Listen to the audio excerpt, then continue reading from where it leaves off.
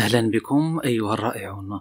عندما تعقد العزم على جذب أهدافك قد يخطر في بالك ذلك الإحساس الرائع الذي سوف تشعر به إذا كنت تقطن مثلا في منزل أحلامك أو تقود السيارة الفاخرة التي تعجبك أو تكون في سفر رومانسي مع الشخص الذي تحب أو تكون محاطا بدفء العائلة والأصدقاء أو أن تنعم بصحة جيدة.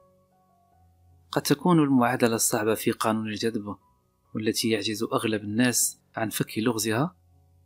أن تشعر فعلا بهذه الأحاسيس رغم عدم امتلاكك لكل ما ذكرناه وهذا أصعب اختبار في قانون الجذب على الإطلاق.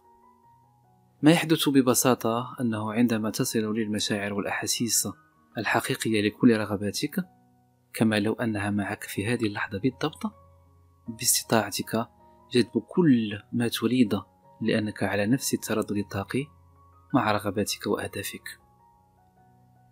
إذا كان باستطاعتك صناعة مشاعر حقيقية جدا لما تريد تكون قد فعلت فعليا قانون الجذب. على الرغم من أن هذا التحدي صعب جدا من حسن الحظ هناك طرق أخرى تساعد على ذلك مثل التأمل العميق والتخيل وغير ذلك. يوسف حسن أمان الله.